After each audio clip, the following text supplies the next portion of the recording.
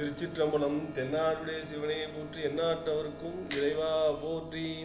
So போன வகுப்பில் நம்ம வந்து இடரினும் தளரினும் அதாவது மூன்றாம் திருமுறையில் திருவாடுதுறையில் பாடப்பட்ட இடரினும் தளரினும் அந்த பாடலை வந்து நம்ம பாடி பயிற்சி பண்ணோம். அடுத்தது அதனை தொடர்ந்து அதோடைய இறுதி பாடல் ஏன்னா அலைமுணல் ஆவடு துறையாமர்ந்த அப்படின்னு துவங்குற அந்த இறுதி அந்த பதிகத்தோடைய இறுதி பாடலை நம்ம இன்னைக்கு பார்க்க போகிறோம் அது எப்படி பாட எப்படி பாடுறது அப்படிங்கிறத ஐயா முதல்ல பாடி வைப்பாங்க. அதன் அதன் அதனை தொடர்ந்து நம்ம அதோடைய பொருள் என்ன அப்படிங்கிறத சிந்திச்சுட்டு அதுக்கப்புறம் அதை பயிற்சியை நம்ம தொடங்கலாம். எப்படி பாடணுங்கிற பயிற்சியை நம்ம பார்க்கலாம்.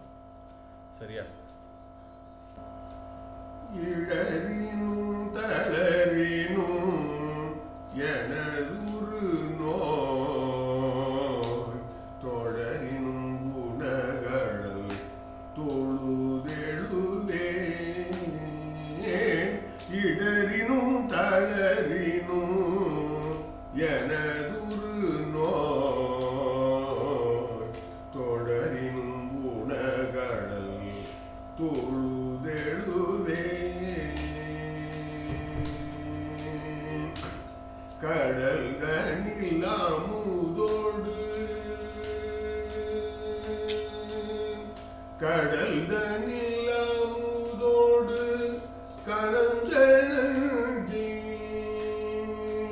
கடல் தனி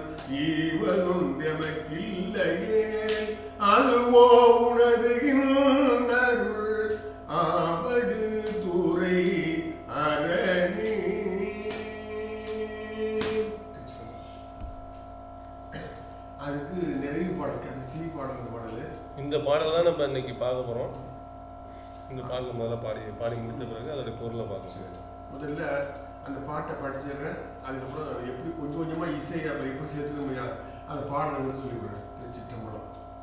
அலை புனல் ஆவடு துறை அமர்ந்த இலை நுனை வேற்படை எம் இறையை. நலமிகு ஞான சம்பந்தன் சொன்ன விளையுடை அருந்தமிழ் மாலை வல்லார் வினையாயின நீங்கி போய் விண்ணவர் வியன் உலகம் நிலையாக முன்னேறுவர் நிலமிசை நிலையிலரே.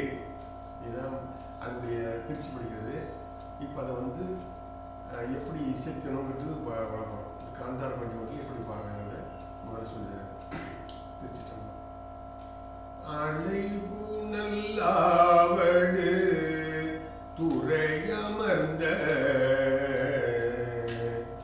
Olha aí.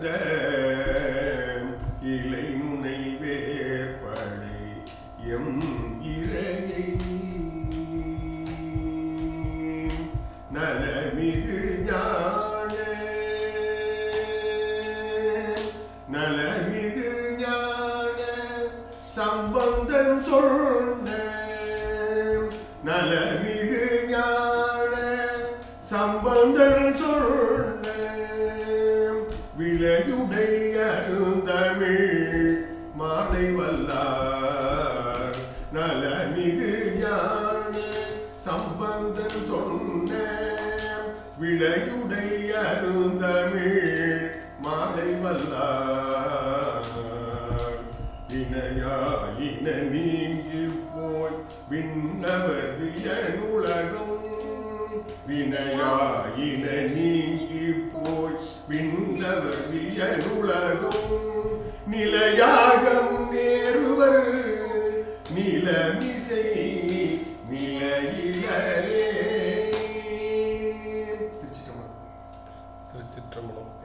இந்த பாடல் வந்து இந்த பாடலுடைய பொருளை வந்து நம்ம என்னன்னு பார்க்கலாம்.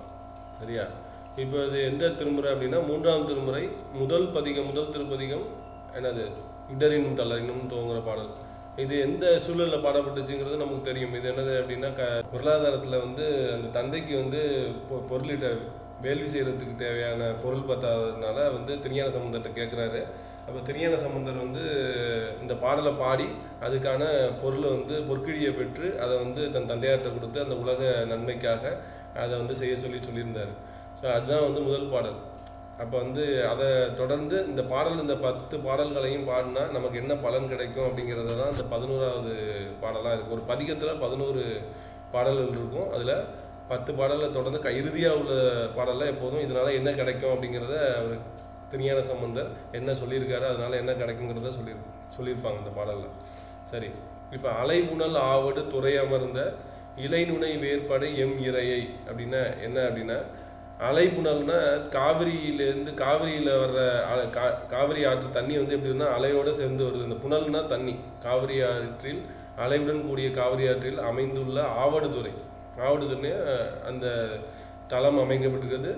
திருவாடுதுறை. திருவாடுதுறையில் அமர்ந்த இலை நுனை வேர்படை எம் இறை அப்படின்னா இலை எப்படி இருக்கும் அப்படின்னா கூர்மையாக இருக்கும் இல்லையா? அது மாதிரி ஒரு வேலை வேல் சூலத்தை வைத்திருக்கின்ற இறையை.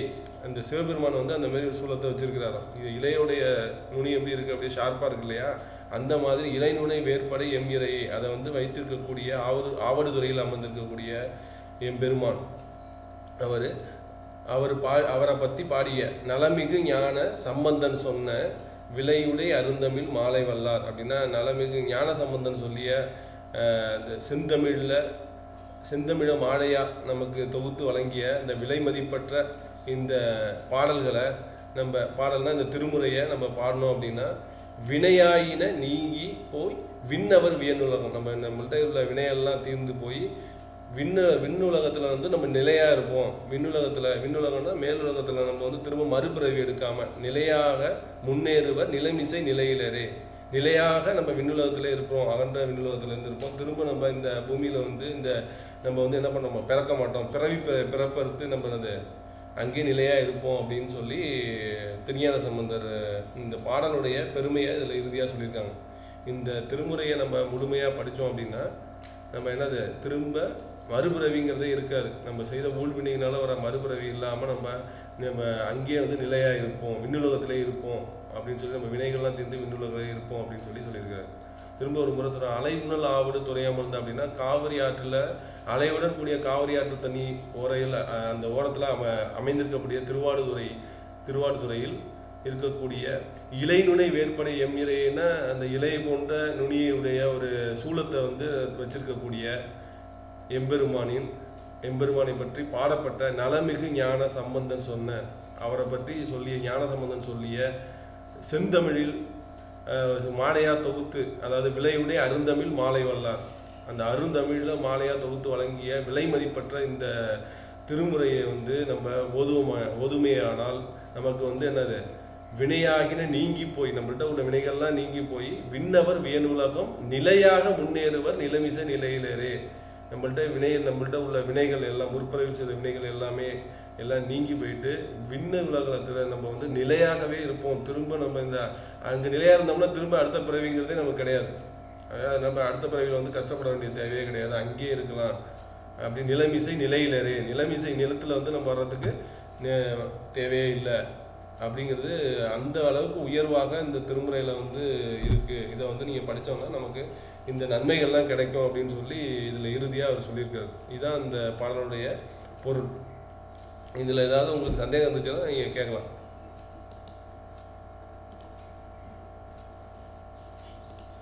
இந்த பொருள் ஏதாவது சந்தேகம் இருக்கப்பா? ம் சரி. இப்போ இது எப்படி பாடல் பயிற்சி பண்ணுறது அப்படிங்கிறத நம்ம இப்போ பார்க்கலாம். ஆ? அவங்க பாட பாட பின்னாடி இப்போ தொடர்ந்து அதை பாடுவோம். அதன் பிறகு நம்ம என்ன பண்ணலாம்? அதை பயிற்சி பண்ணிய பிறகு நம்ம திரும்ப அந்த பாடலை பாடி காமிச்சு அடுத்த பாடலுக்கு போகலாம். சரி. இதில் மைய கருத்து எல்லாரும் நினைப்பு வச்சுக்கணும் இப்போ இதுவரை நம்ம வேண்டினது இறைவன்கிட்ட கேட்குறோம் கொடுக்குறாரு அப்படிங்கிறதுக்காக ஒரு ஆதாரபூர்வமாக திருஞான சம்பந்தர் பாடிய இந்த பொருள் வந்து அவர் கேட்டது எதுக்காக கேட்டாருன்னா அந்த உலக நன்மைக்காக யாகம் செய்வதற்காக பொருள்னாரு இறைவன் கொடுத்தார். அல்ல அல்ல குறையாத பொற்களியை திருவாவூர்களை கொடுத்து தந்தையாருடைய வேள்வியை செய்ய சொன்னார்.